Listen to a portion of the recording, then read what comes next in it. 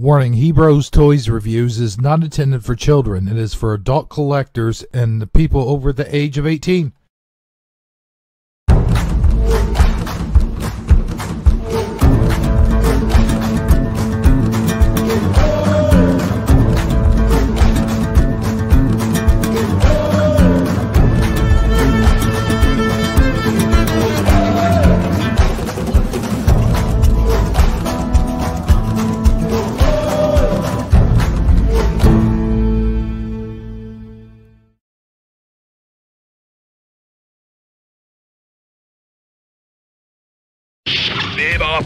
Rocksteady, destroy them!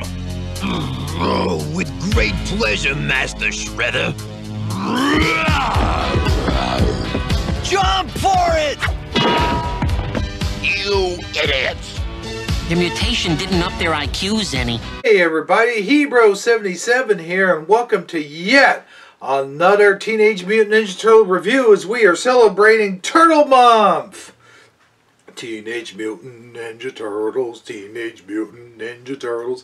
And today is, we are going over the hump, is today is Wednesday, and for days, to, for today's review, we'll be reviewing Shredder's favorite or unfavorite henchmen, our two favorite henchmen, Bebop and Rocksteady, and two favorite mutants as well.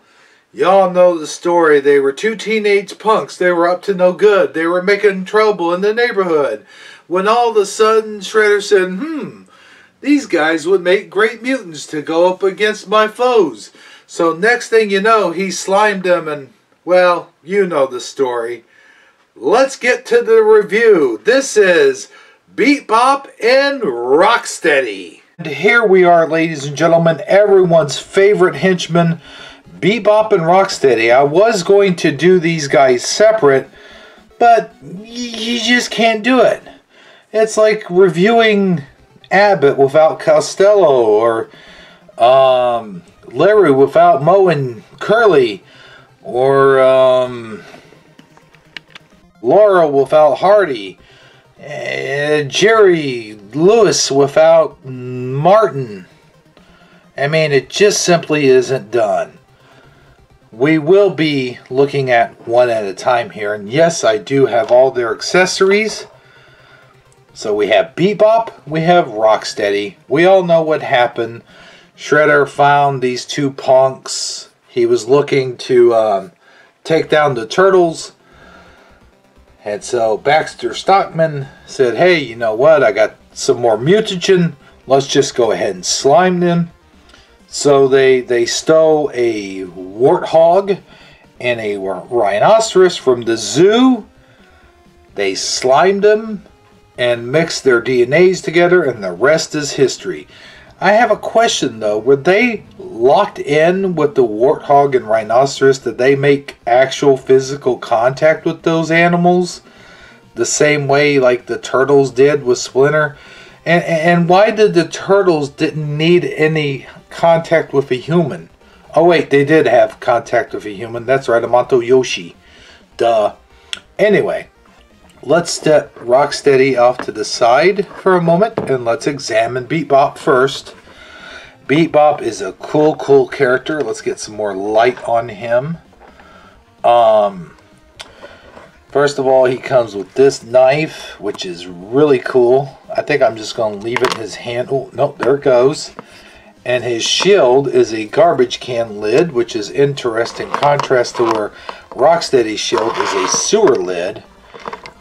You've got cool 80s shades. You could tell these are 80s shades. And the cartoon, they kind of almost resemble the sort of shades that Max Headroom would wear, or even 3D sunglasses, I would even say. He's got a mohawk, a purple mohawk, with what appears to be a rat tail, which wraps around here, as you can see there. Um, of course, he's a warthog as well, so his snout is a little long, and he's got the protruding teeth. I wish I can get a little bit more light on him. There we go. And um, looking on down now, you have a necklace which appears to be a skull necklace. A pearl, or maybe those are bones. I have no idea. Or maybe that's a that's supposed to be a metal chain, but they just didn't paint it the right colors. Um, for some reason, he has turtle shells for shoulder pads. His primary, like his body color, for some reason, is just brown. And uh, let's see, he has chains wrapped around his, um, not forearm, his wrist. Sorry. Well, he's got one chain wrapped around this wrist and a sort of like dog collar type thing wrapped around this wrist. And looks like, for some reason, he's got like a skull sticking out of his arm. Maybe that's a tattoo, or just I something that's pierced on his arm. I I don't know how that even works. Um, and on he has it on this side. Oh, I see what's going on. Okay, so this it's supposed to be coming from the turtle shell, which is on the top. So it's hanging from the turtle shell. Is this supposed to be a dead turtle? Oh, okay, now I get it. Yes, this is a dead turtle. Holy hell, I never noticed that before. Okay, so this is the skull of a turtle. You got the, the arms coming out of its shell. Oh my goodness. So basically, he has two dead turtles on his shoulders. Wow, that's amazing. I never noticed that before. So is this skull on his chest also the skull of a turtle? Wow. oh, that's kind of cool. Um, so now we go on. He's got some sort of red vest going on here. Um, he's got a chain that he's using as a belt holding up his what appear to be leather pants. And if you look closely, you can see his tail is protruding at the bottom of his leather pants. And then he's got uh, red boots or, or red tennis shoes. I'm not sure what those are. There's red laces. They should have done white laces. Seemed like it would have made a lot more sense. He's got a nose ring, which is uh, pretty rare for the time in the 80s for people to have nose rings quite like this, but it is a warthog. So when you think warthog, you do think nose rings. Um, it's funny how he doesn't have any other piercings like earrings or anything like that. And on the back, there's some sort of symbol. I can't quite make it out. Maybe that's a turtle Maybe that's a dead turtle as well, man. This guy really has a, uh, a thing about dead turtles.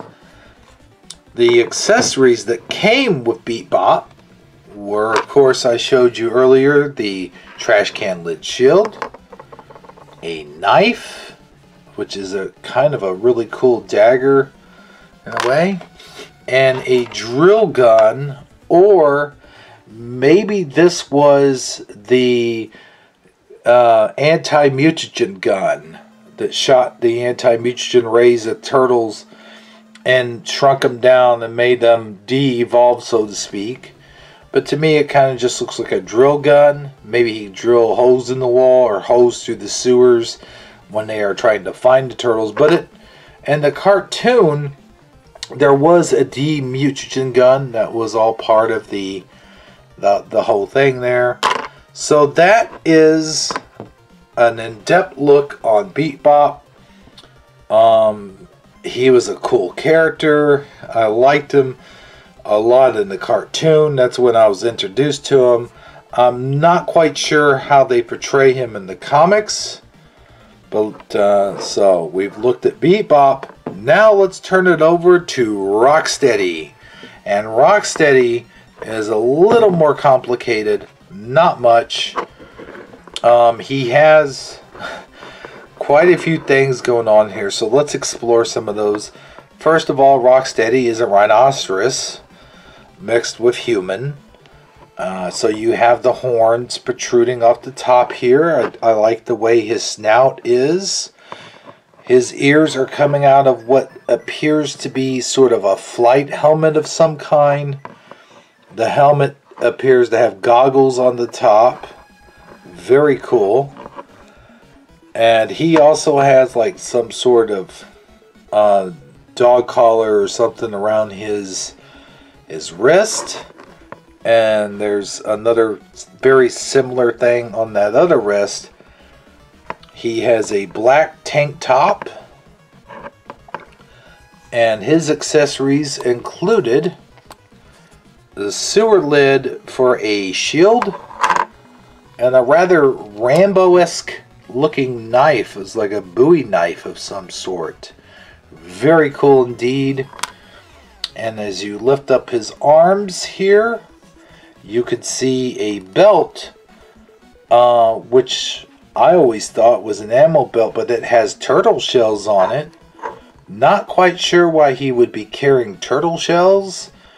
Maybe the same reason that Bebop has the dead turtle shell, or the dead turtles on his shoulders. Maybe those represent dead turtles that he's captured over the years. I'm, I do not know.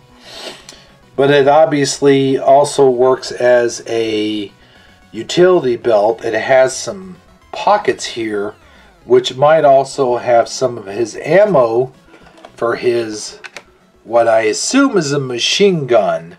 But in the cartoon, it was never represented as a machine gun. It shot lasers out of it, but you know, if you look at G.I. Joe and other cartoons of the time, that sort of makes sense. Let's see if we can get this in his hand even. Ah, it's tough to put in his hand. Um, maybe this hand. There we go. Okay, you got that machine gun. And the other thing I wanted to point out is he has camouflage pants on. Although these camouflage pants are more brown colored than anything. And they almost look like digital camouflage pants. And uh, the other thing is he does have what appears to be combat boots. However, they have these straps under the boots, which, the camera back, go all the way around and the straps on the boots uh, came out around World War II, and I think they were worn from World War II to World War or World War One and to World War II. They wore these things on their boots because the boots were short and they had less protection. Uh, they weren't combat boots in World War One or World War Two they were uh, field boots. They were more like workman boots that had to have extra protection. Uh, if he does, in fact, have regular combat boots, which they look like black combat boots, I don't know why he would have to have these uh, these things on them, but kind of a cool detail. And uh, on the cartoon, these two were supposed to be badass henchmen. Uh, they were going to be a good foil to the turtles. However, they got dumber and dumber over time, and the turtles just sort of easily defeated them as the show progressed. Um, but the beginning of the show, they were kind of a tough foil for the turtles, and it was amazing and awesome. And I highly recommend that you check this out. Now, these two individually, they're really good action figures, but you know, together they're a set. And I think it was really a shame that Playmates at the time didn't sell them in double packs. They only sold them separately as they did with the entire line. It would have been nice to get these two in a double pack um, which we did not. But yeah, uh, in a nutshell, or a turtle shell, I'll see what I did there. I highly recommend these two. Uh, these are great, great collection add on to your collection. And of course, if you, you know, every evil villain always has to have great, or in this case, dumb sets of henchmen and I highly recommend that. on a footnote, uh, these two were supposed to be featured in the original movie, or rather, the second Ninja Turtle movie. But the creators of the Ninja Turtles read the script and told them no. They could not use their likenesses or their names. So that is why we got totally new, different characters, which everyone, of course, knew was actually meant to be Bebop and Rocksteady, but instead we got Tokka and Rahzar. But uh, yeah, that's really all I have to say about these figures. Um, highly recommend A. Get them while you can. I did fail to mention is this gun um, doesn't really fit in the hands of uh, Bebop very well. If you try to put it in this hand, notice the hand is a closed fist and really is only good for nothing really except for maybe the knife. And even that, I have a hard time getting in there. So I was going to show the characters all dressed up.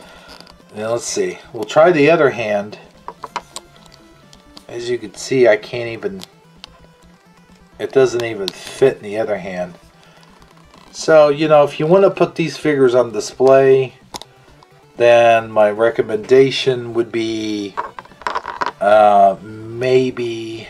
Oh, there, there we go. We got that. I don't know.